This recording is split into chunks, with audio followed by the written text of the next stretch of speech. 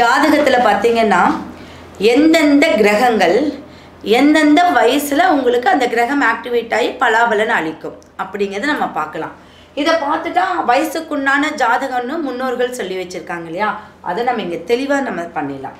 First பார்த்தீங்கன்னா ஒரு ஜாதகத்தில் இப்போ வந்து உச்சம் பெற்ற கிரகம் உச்சம் பெற்ற கிரகம் எவ்வளோ சதவீதம்னா நம்மளுக்கு நூறு சதவீதம் பலன் அளிக்கும். புரியுதுங்களா? ஒரு உச்சம் பெற்ற கிரகம் நூறு சதவீதம் நம்மளுக்கு ஒரு பலனை அளிக்கக்கூடியது.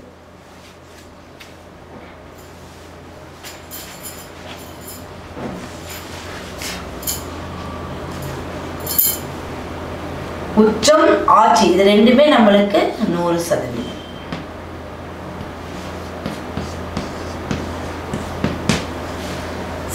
மூலத்திரிகோணம் மூல திரிகோணம் உள்ள கிரகம். மூல திரிகோணம். இதை நோட் பண்ணிட்டீங்கன்னா உங்களுக்கு மற்றவங்களுக்கு ஜாதகம் சொல்றது ஈஸியா இருக்கும். மூல திரிகோணம் பெற்ற கிரகம் தொண்ணூறு பர்சன்ட் நம்மளுக்கு பலன்கள் கொடுக்கும். இப்போ இதை போய் நீங்கள் இப்போ வந்து உச்சம் பெற்ற கிரகத்தையோ ஆட்சி பெற்ற கிரகத்தையோ வச்சு நம்ம இந்த இதுக்கு வந்து நூறு பர்சன்ட் சொல்லக்கூடாது. அடுத்தது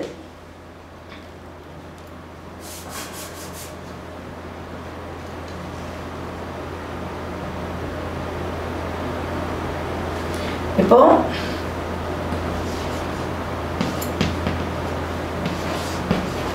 சொந்த வீடு அடுத்தது வர்க்கோத்தமம்.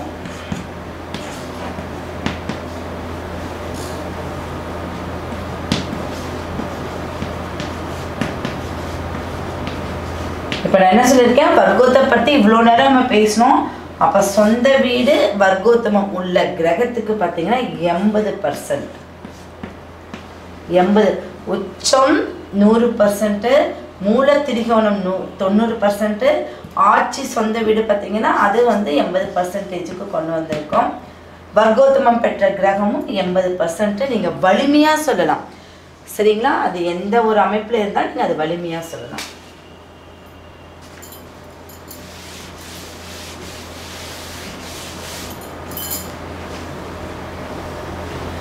நட்பு வீடுகள். நட்பு வீடுகள். அறுபது பர்சன்ட் நட்பு வீடுகள் இருக்கிறது அறுபது பர்சன்ட் சம வீடுகள். சம வீடுகள். ஐம்பது பர்சன்ட் பகை வீடு. பகை வீட்டில் ஒரு கிரகம் இருந்தால் நாற்பது பர்சன்ட் அது ப நம்மளுக்கு அது பலனே இல்லைன்னு சொல்லக்கூடாது. சரிங்களா? நாற்பது பர்சன்ட் இருக்குது நீசம் பெற்ற கிரகம் தான் பத்து பர்சன்ட் இது ஒரு சார்ட் மாதிரி தான் நம்மளுக்கு சரிங்களா? அப்போது சம வீட்டில் இருந்தால் அவங்களுக்கு ஒரு பலனை அதிகப்படுத்தி சொல்லக்கூடாது. இப்போ அதில் இருக்கக்கூடிய கிரகங்கள் வந்து நல்ல ஒரு தசாபுத்தி நடக்குது. ஐயோ உங்களுக்கு அது ரெண்டாம் இடத்துல இருக்குது நாலாம் இடத்துல இருக்குது அப்படின்லாம் சொல்லாமல் அதுக்கு ஐம்பது பர்சன்ட் தான் வலிமை. சரிங்களா? அந்த மாதிரி தான் நம்ம பார்த்து சொல்லணும். ஓகேவா? நீசம் பெற்ற கிரகத்தில் பார்த்தீங்கன்னா புதனுக்கு மட்டும் நல்ல அமைப்பில் சொல்லலாம். நல்ல அமைப்பில் சொல்லலாம். புதன் வந்து நான் நிறையா சேனலில் சொல்லியிருக்கேன். புதன் நீசமானா ஒருத்தன் படிப்பில்லைன்னு சொல்லக்கூடாது. அவர் தான் ரொம்ப கலெக்டர் கூட ஆகலாம். சரிங்களா? அப்போ புதன் அமைப்பு மட்டும் நீசமானால் இந்த அமைப்பில் நீங்கள் பத்து பர்சன்ட் இருக்கக்கூடாது. அதை நீங்கள் பார்த்து அந்த புதன் எந்த அமைப்பில் இருக்குன்னு பார்த்து நீங்கள் சொல்லலாம். இதை எழுதிக்கோ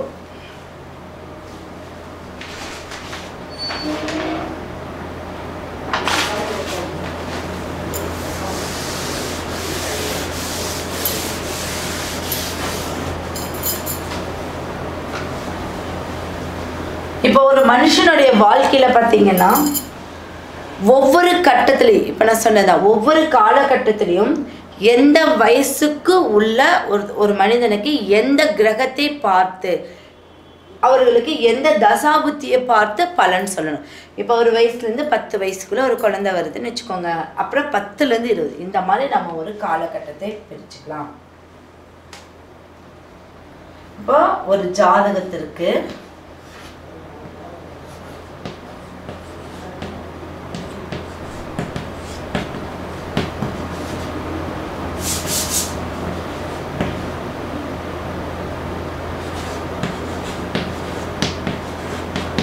ஜாதகத்திற்கு ஃபஸ்ட்டு ஒரு ஒரு வயசுலேருந்து பத்து வயது வரை. சரிங்களா? இப்போ ஒன்று வயசுலேருந்தே பத்து வயசு வரை. நம்ம இந்த மூணு மாதம் இதெல்லாம் வேணும் நம்ம பிறந்ததுலேருந்து பத்து வயசு வரைக்கும் அவங்களுக்கு என்ன பார்க்க வேண்டும்? இதை நம்ம அப்போது இந்த ஜாதகருக்கு சந்திரன் நல்லா இருக்கா? இதுதான் பார்க்கணும். சந்திரன் நன்றாக இருக்கிறதா?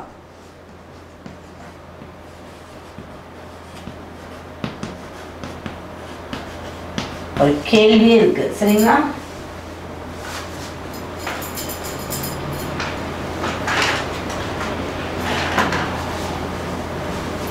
ஒரு ஜாதகருக்கு பிறந்த காலத்துல இருந்து பத்து வயது வரை எந்த கிரகத்தை பார்த்து அவருக்கு பலன் சொல்ல வேண்டும்? சந்திரன் மட்டுமே பாருங்க ஃபஸ்ட்டு ஏன்னா சந்திரன் நன்றாக இருந்தால் மட்டுமே அவருக்கு நல்ல ஒரு தாய் கிடைப்பாள். நல்ல ஒரு தாய் கிடைப்பாங்க.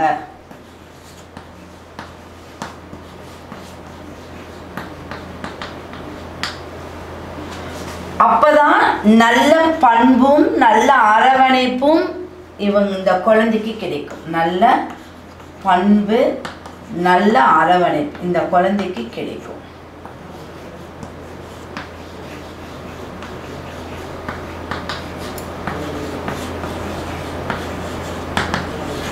புரியுதுங்களா?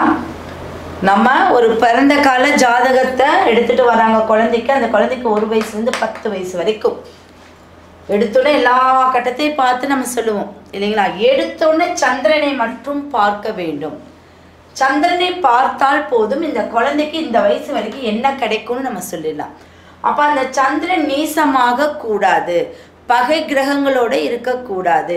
வலிமை இழந்து இருக்கக்கூடாது. ஆறு எட்டில் பன்னிரெண்டில் மறையக்கூடாது. அப்படி மறைந்து விட்டால் நல்ல சுப கிரகங்களின் பார்வை பெற வேண்டும். சரிங்களா? சரி. இப்போ இந்த அமைப்பெல்லாம் இல்லாமல் இருந்தால் இந்த இந்த பிற ஒரு ஜாதக குழந்தைக்கு நல்ல தாய் கிடைச்சிருவாங்க. நல்ல அரவணைப்புள்ள பண்புடைய ஒரு தாய் கண்டிப்பாக கிடைப்பாங்க.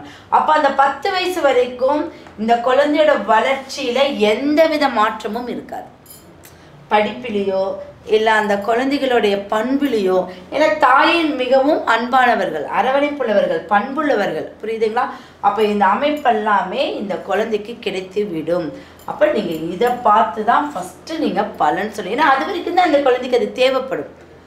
ஸ்கூல் லைஃப் குழந்தை குழந்தை பருவம் இது எல்லாமே அந்த பத்து வயசு வரைக்கும் அந்த அந்த தாய் கொடுக்கக்கூடிய அமைப்பு மிகவும் முக்கியமானதாக இருக்கு. அப்ப அந்த சந்திரன் நன்றாக இருக்கிறதா? சரி. அப்ப சந்திரன் நல்லா இல்லை சுப கிரகங்களோட இல்லை பாப கிரகங்கள்ல இருக்கு பகை வீட்டில் இருக்கு.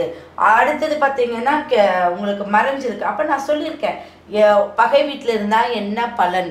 சுபகிரகங்கள் சுப கிரகங்கள் வீட்டுல இருந்தா என்ன பலன்? முதல்ல நீங்க ஒரு சார்ட் கொடுத்தோம் அப்ப அந்த சார்ட் நீங்க தூக்கி போடுங்க. போட்டா உங்களுக்கு இதுல என்ன பலன் சொல்லலாம்னு உங்களுக்கு தெரிய வரும். இப்ப சந்திரன் பாப கிரகங்களோட இருந்து ஆறு எட்டுலையும் மறைஞ்சா தாய் பாவம் கஷ்டப்படக்கூடிய அமைப்பு. அவங்களால அந்த குழந்தையவே வளர்த்த முடியாத ஒரு அமைப்பு. அந்த குழந்தைகளுக்கு நல்ல அமைப்பை கொடுக்க முடியல. நல்ல உணவு கொடு இப்படி நீங்கள் அவங்க ஜாதக கட்டத்தை வச்சு நீங்கள் சொல்லலாம்.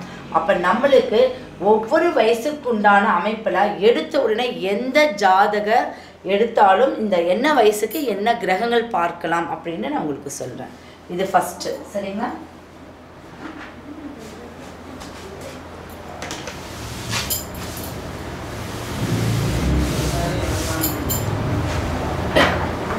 அடுத்தது பத்து முதல் இருபது வயது வரை. இருபது வயது வரை.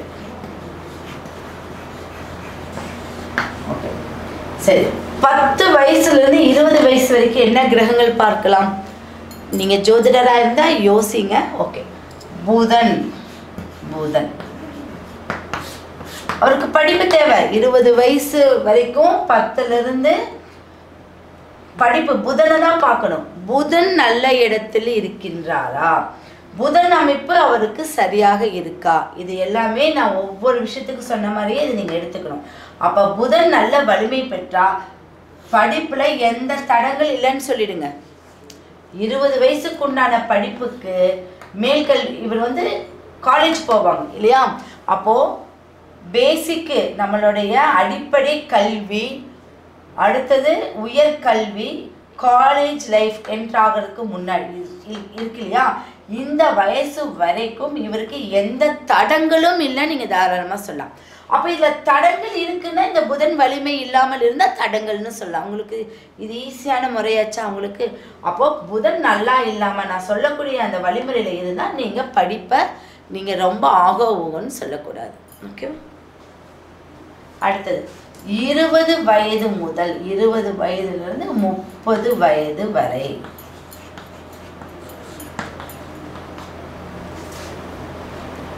வயது வரை. என்ன சொல்லலாம்? சொல்லுங்க. சுக்கிரன் ஆதிக்கம் பெற்றிருக்க வேண்டும். இருபது வயசுலேருந்து முப்பது வயசுக்குள்ள நம்ம என்ன பண்ணுவோங்க? சுக்கிரன் அது பெண்ணா பெண்ணா இருந்தாலும் ஆணா இருந்தாலும் சுக்கிரன் வலிமை பெற வேண்டும். சுக்கிரன் அவங்களுக்கு திருமணம் நல்ல வேலை வாய்ப்பு இவங்களுக்கு நல்ல ஒரு செட்டில் ஆவாங்கன்னு சொல்லுவாங்களே இருபது வயசுலேருந்து இவங்க முப்பது வயசுக்குள்ளே செட்டில் ஆவாங்க. எப்படி செட்டில் ஆவாங்கன்னா படிப்பை முடிச்சிடுவாங்க. அடுத்தது அவங்க வேலைக்கு தேடுவாங்க. அந்த வேலையில் போய் உட்காருவாங்க. ஒரு சிலருக்கு திருமணம். அதனால சுக்கரன் இருந்தால் மட்டுமே சு சுகபோக வாழ்க்கை. அப்போ இந்த இருபது வயசுலேருந்து முப்பது வயசுக்குள்ளே வரக்கூடிய ஆண் பெண் ஜாதகருக்கு சுக்கரன் நல்லா இருக்கா? சுக்கரன் நல்லா இல்லைன்னா ரொம்பவும் சொல்லக்கூடாது. அப்ப இவங்க ஜாதகத்துல அந்த சுக்கரன் எத்தனாம் இடத்துல இருக்காரு? சுக்கரன் யார் கூட இருக்காரு? புரியுதுங்களா? அப்ப எத்தனாம் இடத்துல இருக்காருங்கிறது அதை மைனஸா நீங்க சொல்லணும். அப்ப அதை பார்வை பெற்றால் அதோடைய ப்ளஸ்ஸாக சொல்லணும். இப்படி நீங்க உங்களுடைய ஜாதகத்தை பார்த்து தெரிஞ்சுக்கணும். அந்த ஜாதகம் தெரியாதவங்க தான் இந்த வயசுல சுக்கரன் நல்லா இருந்தா நீங்க எல்லாமே ஈஸியா அனுபவிச்சிடலாம். உங்களுக்கு அந்தந்த காலகட்டத்தில் திருமணம் ஆயிடும். படிப்பு முடிச்சோன்னே வேலை கிடைச்சிடும் இது எல்லாமே உங்களுக்கு இந்த ஒரு காலகட்டத்தில் கிடைச்சிடும் அப்போ சுக்கரனே அப்போ சுக்கரனை ஆக்டிவேட் பண்ணணும். இப்போ என்னென்னா எ- ஏதாவது கிரகம் கெட்டு போச்சுன்னா நீங்கள் நவ கிரகங்களை நீங்கள் ஆக்டிவேட் பண்ணணும். அது நம்ம இன்னொரு வீடியோவில் நமக்கு சொல்லலாம்.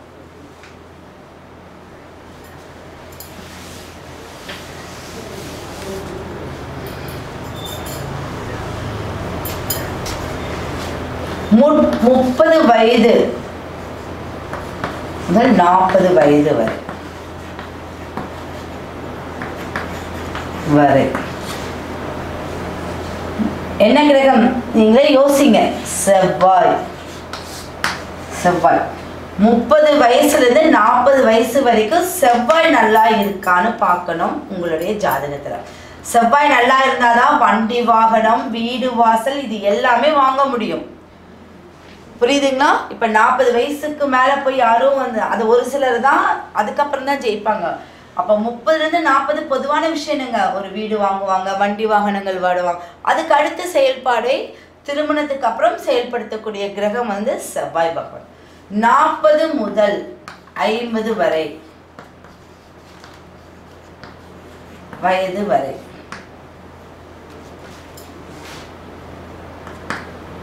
சூரியன். நாற்பதுல இருந்து ஐம்பது வயசுக்குள்ள ஒரு கௌரவத்தை ஏற்படுத்தி கொடுக்கணும். அவங்களுக்கு நல்ல பதவிகள் கிடைக்கணும். அடுத்த கட்டத்துக்கு போகக்கூடியது இந்த வயது தான் இப்போ நாற்பது வயசு வரைக்கும் பேசிக்காக இருப்பாங்க.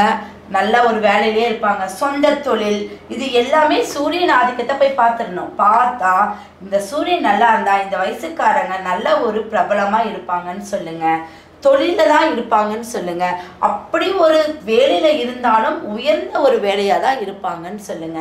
இந்த சூரியன் நல்ல ஒரு இடத்துல அவருடைய வீட்டுல அவருடைய சாரத்துல இருந்தாங்கன்னா ஆதிக்கம் பெற்ற ஒரு வேலையா இருப்பாங்க. ஆதிக்கம் பெற்றவங்களா இருப்பாங்க நீங்க தாராளமா சொல்லலாம். ஐம்பது முதல் அறுபது வரை. அறுபது வயது வரை.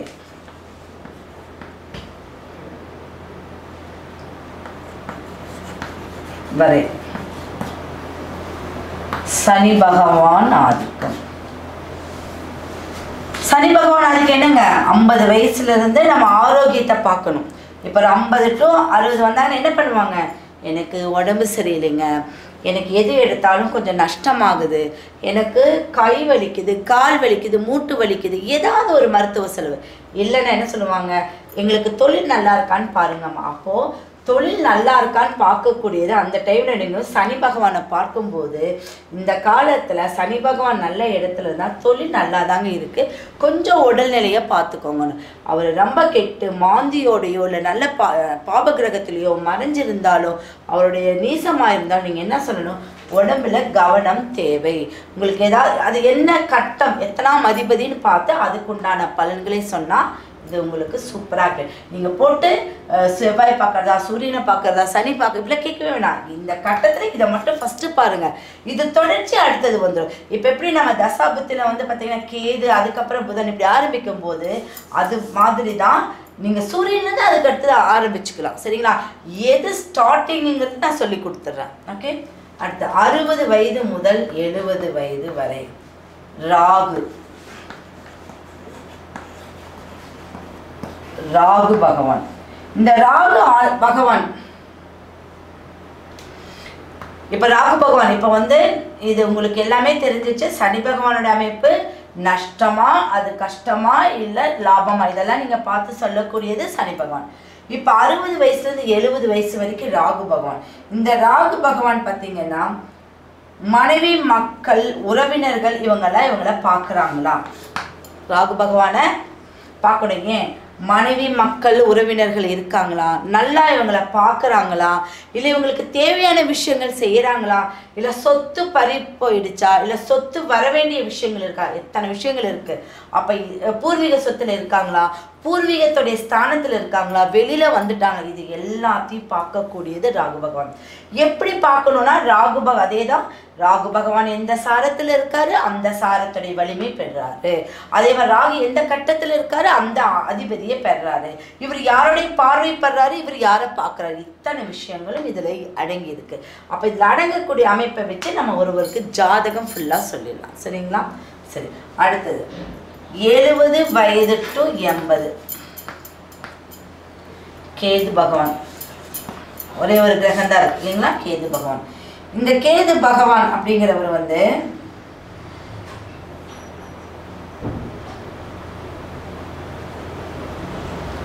என்னன்னா எழுபது வயசுலேருந்து எண்பது வயசு வரைக்கும் இந்த கேது பகவான் மறதி நிலை முடங்குற தன்மை ஆரோக்கியமாகவும் இருக்கலாம். ஏன்னா கேது நல்லா இருந்தால் ஆரோக்கியமான ஒரு அமைப்பை நீங்கள் கொடுக்கலாம். அப்போ இந்த கேதுவோடைய ஏன்னா கடைசி ஸ்தானத்தில் நம்ம இங்கே வந்திருக்கோம். இதிலிருந்து அடுத்த கட்டத்துக்கு திரும்பவும் நம்ம எங்கே வரோங்க முதல்ல இருந்து தான் நம்ம வரணும். அப்போ இந்த ஒன்பது நவகிரகங்களுடைய அமைப்பில் நம்ம ஒரு கால இதை போட்டிருக்கோம். அப்போ இதுக்கு மேலே இருக்கக்கூடிய அமைப்பு எல்லாமே கேதுவே சாரும். கேது வந்து மறதித்தன்மை இல்லை உங்களுக்கு முடக்கத்தன்மை இது எல்லாமே இருக்கு. இந்த கேதுவை சுப கிரகம் பார்த்தால் நல்ல அமைப்பை உண்டாக்கும். நூறு வயசு வரைக்கும் இருப்பாங்க. அடுத்தது செ- சூரியன் சந்திரன் சனி பகவான்.